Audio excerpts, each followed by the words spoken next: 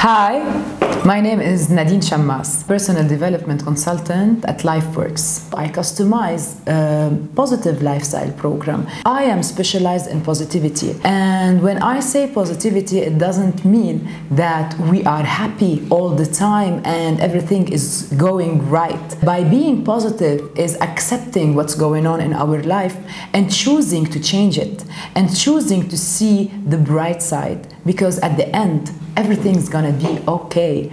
And if we just have this belief in our system that everything's gonna be okay, that everything is possible, and we are able to change anything, I think our life purpose is to be happy. And happiness also is a habit. So we want to bring everything that make us happy in our life. We are here to help you with it. And I would like to thank you all. Uh, I'm waiting for you.